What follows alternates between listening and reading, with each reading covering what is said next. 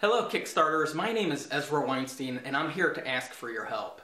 I've created an amazing program that allows anyone to build their own apps for tablets, desktops, and even smartphones.